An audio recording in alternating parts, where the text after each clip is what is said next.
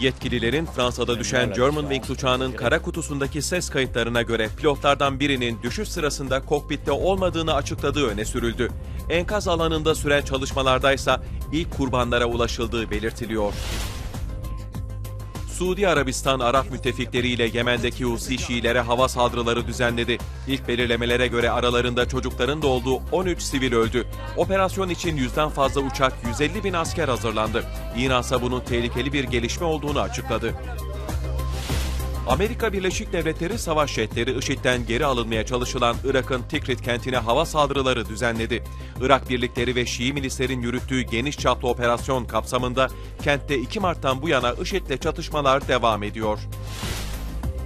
28 Mart'ta Cumhurbaşkanlığı ve parlamento seçimlerinin yapılacağı Nijerya'da terör nedeniyle güvenlik önlemleri artırılarak sınır kapıları 3 gün kapatıldı. 219 kızın hala kayıp olduğu ülkede yetkililer Boko Haram'ın Damasak'ta 506 kadın ve çocuğu kaçırdığını teyit etti. Avrupa Parlamentosu milletvekilleri iflas tehdidiyle karşı karşıya olan Ukrayna'ya ek 1 milyar 800 milyon euro mali yardım yapılmasını kararlaştırdı.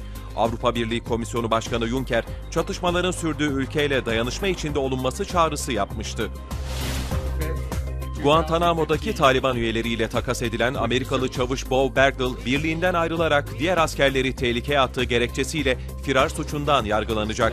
Bergdahl 2009'da Afganistan'da Taliban tarafından kaçırılmış ve 5 yıl rehin tutulmuştu.